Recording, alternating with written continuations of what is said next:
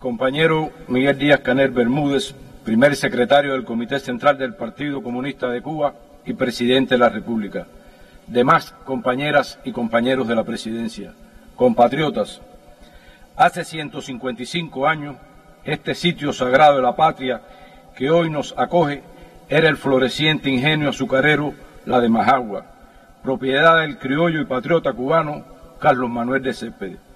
Después del alzamiento del 10 de octubre de 1868, la soberbia del ejército español intentaría reducirlos a ceniza. Sin embargo, como es apreciable, sobrevivieron al fuego y al tiempo varias piezas y elementos que en su conjunto configuran un símbolo imperecedero de la historia nacional. Los testimonios de varios protagonistas de aquella fecha nos permiten imaginar justo a esta hora y por estos terrenos la presencia de cerca de 600 hombres que desde la noche del viernes 9 de octubre de 1868 y durante la madrugada del sábado 10 se concentraron aquí con la determinación de tomar las armas por la independencia de Cuba. El alzamiento que se había pactado para el 14 de octubre debió precipitarse ante las intenciones de las autoridades españolas de apresar a los conspiradores. Para Céspedes no fue un problema la decisión de adelantar el levantamiento armado, era entre todos y desde hacía mucho tiempo uno de los patriotas más decididos a tomar las armas. Estaba consciente de que mientras más tiempo pasara, más posibilidades tenía la corona española de disolver el movimiento. Tenía la convicción de que las condiciones materiales nunca estarían creadas totalmente, ni que las armas serían las suficientes para comenzar y que había que arrancárselas al enemigo combatiendo, táctica aplicada muchos años después por el ejército rebelde en la Sierra Maestra.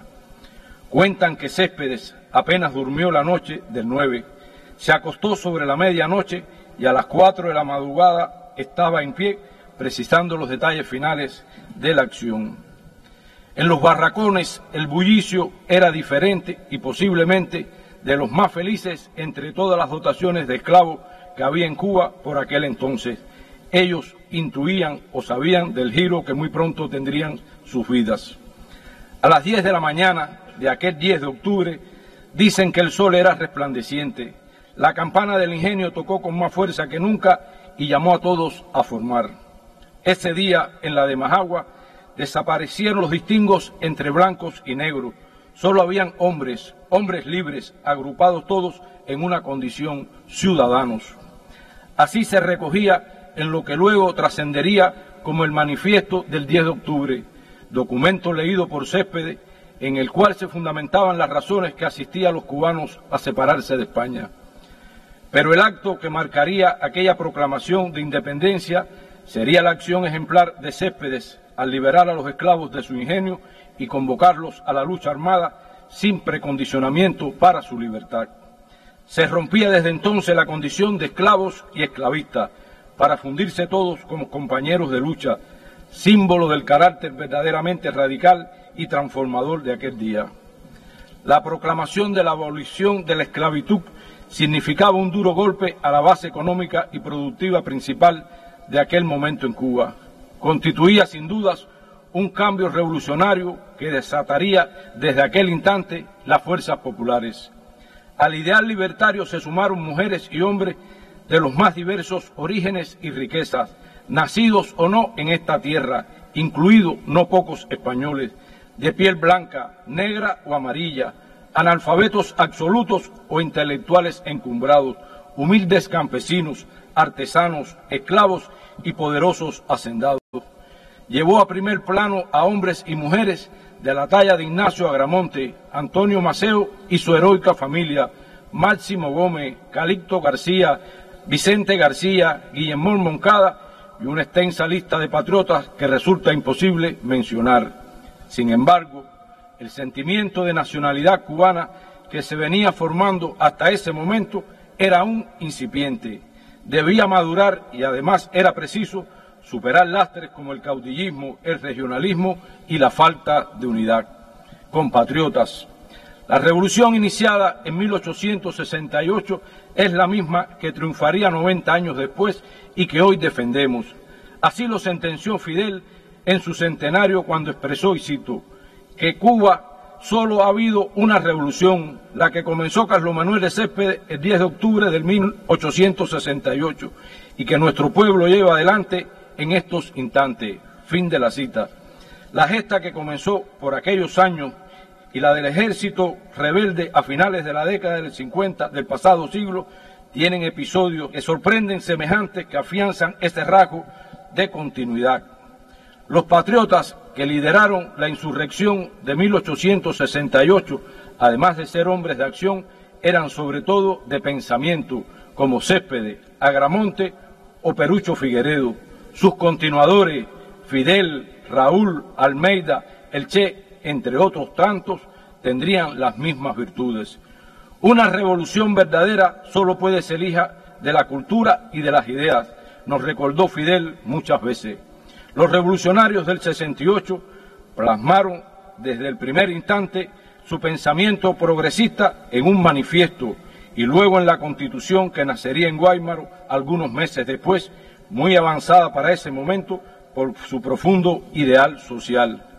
Por su parte, la generación del centenario abrazaría un documento programático de invaluable valor político y social.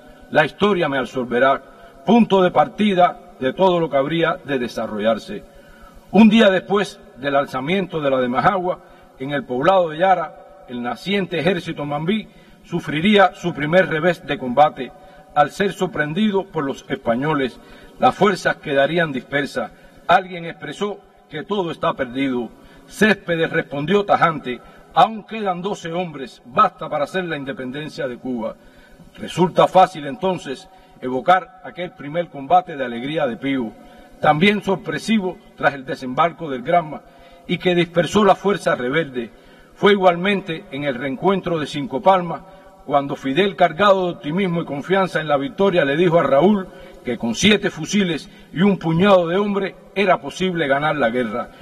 Desde 1868 y hasta el triunfo en 1959 se apuntó directamente contra el corazón mismo de las oligarquías dominantes, las esclavistas primeros y las latifundistas y corporaciones yanquis después.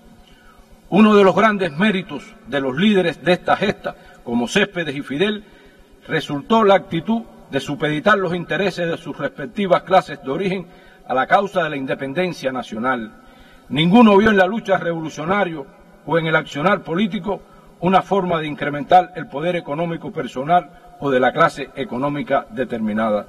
Todo lo contrario, como otros tantos patriotas, se desprendieron de toda riqueza material para defender el proyecto político colectivo del pueblo, por el pueblo y para el pueblo. Este es un ejemplo y un principio que se ha mantenido y perdurará en la revolución cubana. En ello está la radicalidad y el carácter esencialmente emancipador y la coherencia de esta revolución que asumimos como una sola. La independencia nacional, la dignidad plena del hombre y la justicia social serían fuentes de motivación y de lucha durante estos casi 100 años y que hemos sostenido como baluarte sagrado en los últimos 65. Precisamente defendiendo esa unidad de pensamiento y acción en el centenario del grito de la de Majagua, nuestro comandante en jefe expresaría, y cito, nosotros entonces habríamos sido como ellos, ellos hoy habrían sido como nosotros. Fin de la cita. Martí primero y Fidel después analizaron los desaciertos de esos años de lucha, el principal de todos, la falta de unidad. Para fortuna de Cuba, desde 1959, se revirtió como una de las principales fortalezas políticas del proceso revolucionario que defendemos, como lo resumiera el entrañable Armando Hall, Fidel transformó la estrategia enemiga de divide y vencerás en unir para vencer. Compañeras y compañeros, nunca será ocioso, y menos en una fecha como esta, reiterar la importancia de la unidad nacional, factor determinante en el actual contexto que enfrenta Cuba. La revolución cubana sigue resistiendo la arremetida de la potencia imperialista más poderosa económica y militarmente que el mundo haya conocido jamás. Su arsenal subversivo para destruirla se reinventa constantemente y muta de forma camaleónica a través de diferentes proyectos y programas, acciones para alcanzar la mayor cantidad de segmentos en la población interna. En una sociedad cada vez más heterogénea, el partido y la revolución seguirá promoviendo una política de inclusión y de unidad nacional, como nos enseñaron durante años Fidel y Raúl. No tendrán cabida en la revolución los que asumen expresiones de odio, ni los anexionistas, esos que ayer y hoy creen posible una alianza de igual a igual con el imperio. Son los que piensan ilusamente que existe un tercer camino en la inevitable disyuntiva que tan certeramente reflejó José Martí y cito, la libertad cuesta muy cara y es necesario o resignarse a vivir sin ella o dedicarse a comprarla por su precio. Fin de la cita. El diseño de la política norteamericana para Cuba, delineado desde 1960 en el memorando oficial del gobierno de los Estados Unidos de provocar al pueblo carencias materiales y financieras de todo tipo, para que éste culpe y arremeta contra la revolución, tiene hoy más vigencia que nunca. Ese diseño resulta la causa principal de las severas afectaciones cotidianas que nos laceran en todos los órdenes de la vida social y económica del país, que impiden el anhelado bienestar y felicidad que procuramos para nuestro pueblo. Con un cinismo sorprendente, los mismos que nos llevan a niveles extremos de asfixia se presentan como los paladines de los derechos humanos, la democracia y la supuesta ayuda al pueblo de Cuba. Como ha llamado en varias ocasiones nuestro primer secretario del Comité Central del Partido, no basta ya con resistir el cerco y las agresiones. No basta con seguir usando el bloqueo y las acciones anticubanas solo en expresiones o denuncias, a modo de justificaciones de igual manera. Urge saltar sobre todo eso. Urge poner en función del proyecto país todas las potencialidades productivas, científicas y profesionales que se han desarrollado durante años. La historia reciente ha demostrado que cuando nos lo proponemos podemos lograrlo. Frente a estas amenazas y desafíos de todo tipo, la unidad nacional y la fortaleza política e ideológica del pueblo son determinantes. No nos está permitido repetir los errores del pasado. El compañero Díaz Canel en este mismo lugar hace cinco años nos planteó, y cito, esa misma historia nos está exigiendo repasos y aprendizaje indispensable para el tránsito hacia una nueva etapa de la revolución que no ha cesado y agregó. Ahí están las claves de todas nuestras derrotas y fracasos, que los hubo y muy dolorosos a lo largo de 150 años de lucha, pero también están las claves de la resistencia y de las victorias. Fin de la cita. Compañeras y compañeros, el 10 de octubre de 1868 hace 155 años, marcó un hito trascendental en la historia nacional. Otros momentos relevantes le han seguido desde entonces, protagonizados por compatriotas de la talla de Mella, Paliño, Villena y otros muchos, hasta el decisivo aldabonazo de la generación del centenario, encabezada por Fidel, que convirtió definitivamente en realidad el sueño de los próceres.